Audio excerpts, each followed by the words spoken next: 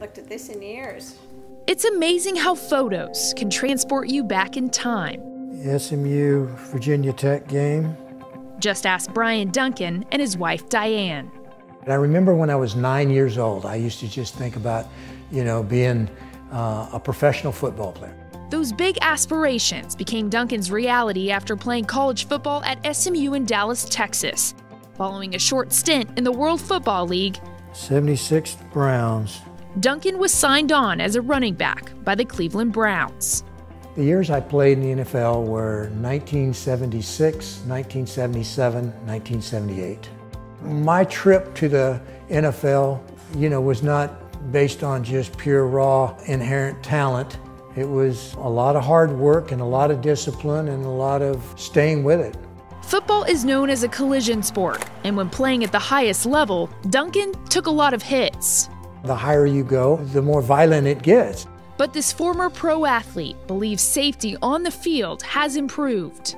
This was my high school football helmet, and as you can see, it doesn't have a lot of protection, not near what they have today. He's now looking to science to keep aspiring football players safe in the game.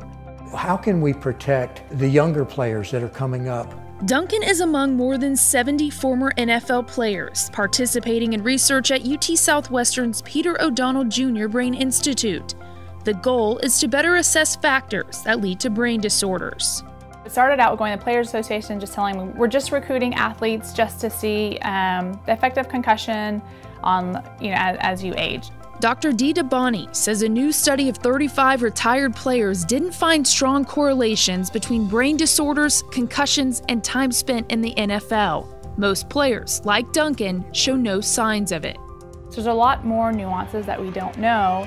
And so I think a lot of people have jumped the gun a little too early in making these clear-cut decisions and clear-cut choices and um, saying that it's a link between playing and long-term damage. And we just don't know what are the effects and why some people may have problems and why some don't. I don't know why they get it. It may be a lot to do with genetics and it just may be, you know, the number of hits and the number of hits taken the wrong way.